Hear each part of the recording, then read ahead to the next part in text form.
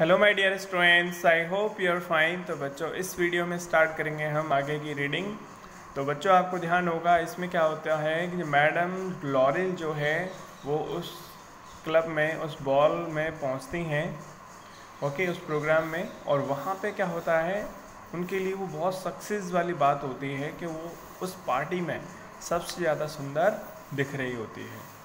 Okay तो इसके बाद क्या होता है, चलिए देखते हैं.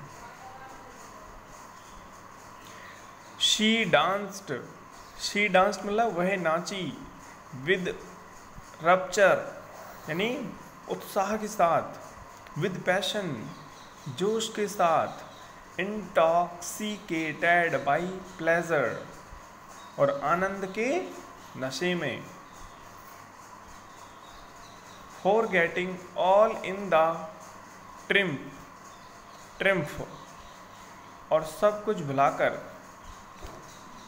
In the triumph of her beauty अपनी सुंदरता की विजय में सब कुछ भुलाकर in the glory of her success अपनी सफलता की महिमा में in a sort of cloud of happiness और खुशी के एक बादल के रूप में, ठीक है? तो इस तरह इन भावनाओं को लेकर के वो खूब नाचती रही, खूब नाची। खो गई वो नाचते नाचते she left the ball with her husband और उसने अपने हस्बैंड के साथ उस क्लब को, उस बॉल को छोड़ा, यानी उससे निकली at around four o'clock in the morning और सुबह लगभग चार बजे वो अपने हस्बैंड के साथ उस क्लब से निकली। आउट इन द स्ट्रीट और वहाँ से निकलकर उस गली में they could not find a carriage उनको कोई गाड़ी नहीं मिली। And began to look for one और इसकी तलाश में लगे मतलब घर जाने के लिए उनको गाड़ी चाहिए थी, बाहर आके देखा, कोई गाड़ी नहीं दिख रही थी, फिर उन्होंने देखा, इंतज़ार किया, ढूंढा। एंड एट लास्ट और अंत में एट लास्ट मतलब अंत में they found one in the distance और कुछ दूरी पर उनको एक मिल जाती है। It took them as far as their door in Martyrs street नाम है बच्चे मार्ट्रियार स्ट्रीट तो उस गली तक, उनके दरवाजे तक, उस गली में उनके दरवाजे तक ये टैक्सी उनको ले गई। ये गाड़ी जो है, उनको उस गली में मार्टियार स्ट्रीट में उनके घर तक, घर के दरवाजे तक ले गई। They went up to their apartment और वहाँ से वो कहाँ चले गई? अपने अपार्टमेंट में चले गई। ओके? जहाँ पे वो रहा करते थे। She removed her wraps before the glass उसने अपनी चादरें जो ओढ़ रखी थी, उसने जो गाउन की जो चादर थी, उसने उसको हटाया। शीशे के सामने खड़े होकर के।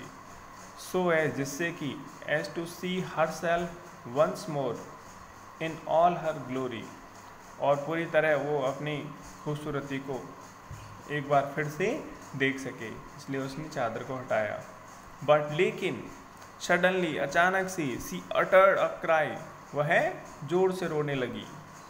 क्यों, अचानक से ऐसा क्या हो गया बच्चों, जो ज़ोर से रोने लगी वो? अब तक तो बहुत खुश थी और बहुत उसमें थी कि मैं बहुत सुंदर लग रही हूँ ऐसे करके।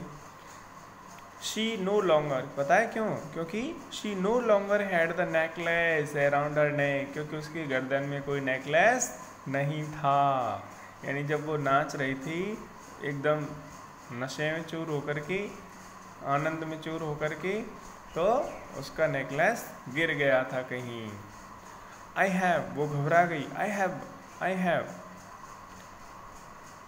I have lost madam Falconer's necklace मेरे पास से मैडम फॉकनर का नेकलेस खो गया है।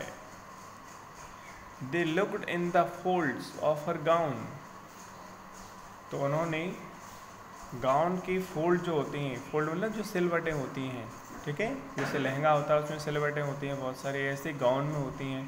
तो उसमें काफ़ी उसने ढूंढा इन द पॉकेट्स पॉकेट्स में ढूंढा एवरीवेयर हर जगह ढूंढा but did not find it लेकिन वो उनको नहीं मिला।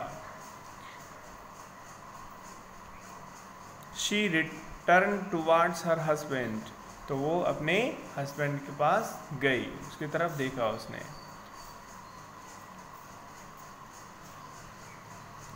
ठीक है, ये लाइन रह गई थी बीच में। उसने बोला फिर कि मैडम, फॉकनर्स का जो नेकलेस है वो मुझसे खो गया है। They looked in the folds उसमें ढूंढा। ठीक है, हर जगह ढूंढा। They could not could at reach other they looked at each other वो एक दूसरे की तरफ़ देखने लगे, यानी उन्होंने एक दूसरे की तरफ़ देखा। अटरली कॉस डाउन और वो नीचे गिर गए, यानी एक दूसरे की नज़रें नीचे झुक गई। You must try to your friend तुम्हें अपने दोस्त को ये बताना चाहिए शेड ही उसने कहा उसने कहा कि तुम अभी अपने फ्रेंड को, जिससे तुम ये नेकलेस लाई थी, उसको इन्फॉर्म करो। That you have broken the clasp of her necklace कि तुमने, कि तुमसे you have broken the clasp clasp यानी बंधन जो उसमें डोरी होती है, जो बांधने का होता है नेकलेस को, गर्दन में, वो आपसे टूट गया है। तो इस तरह का बोला उसने कि उस फ्रेंड को ये मैसेज कर आ कि कि तेरे पास से जो नेकलेस था, उसका बंधन टूट गया है। That you have broken the clasp of her necklace उसके नेकलेस का बंधन टूट गया है। And that you are having it mended और तुम उसको रिपेयर करने के लिए, बनवाने के लिए, ठीक कराने के लिए उसको जाओगी मतलब इस तरह से। That will give us time इससे क्या होगा? That will give us time इससे हमें समय मिल जाएगा टू टर्न राउंड उसको वापस करने का समय मिल जाएगा।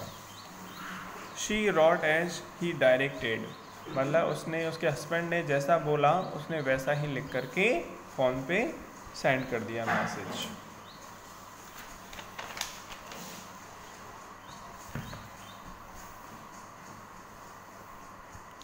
at the end of week और हफ़्ता के अंत में सप्ताह जब एक हफ़्ता बीत गया they had lost all hope उनको कोई उम्मीद नहीं थी अब। वो उम्मीद खो चुके थे।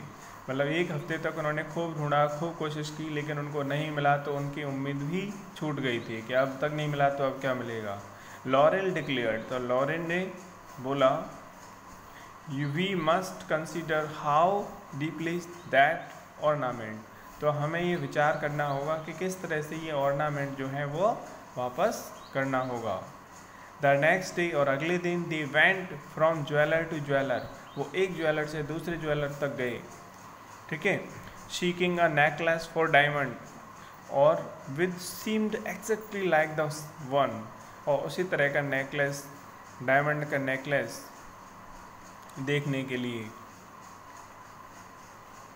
Head borrowed one they had borrow जो उन्होंने उधार लिया था, उसी तरह का डायमंड का नेकलेस वो दुकान पे सर्च कर रहे थे कि इस तरह का कोई डायमंड का नेकलेस मिल जाए जिससे कि उसको हम रिटर्न कर सकें। It was worth forty thousand francs और इसकी जो कॉस्ट थी, इसकी जो कीमत थी वो कितनी थी? फोर्टी थाउज़ेंड फ्रैंक यानी चालीस हज़ार franc Laurel possessed eighteen thousand Laurel के पास कितने थे? एटीन थाउज़ेंड थे। Eighteen thousand francs which his father had left him जो कि उसके फादर ने उसके लिए छोड़े थे। He would borrow the rest और उसने बाकी के उधार लिए। When madam Laurel took back the necklace जब मैडम लॉरेल उस नेकलेस को वापस ले गई, किसके पास? मैडम फॉकनर के पास। शेड हर तो उसने कहा शेड हर विदा चिली मैनर तो उसने एक ठंडे तरीके से कहा। क्या कहा? You should have return it sooner तो मैं ये जल्दी वापस कर देना चाहिए था। I might have needed it मुझे इसकी ज़रूरत पड़ सकती थी। तो बच्चों, आज की वीडियो में बस इतना ही। मिलते हैं नेक्स्ट वीडियो में। तब तक के लिए bye and take care thanks for watching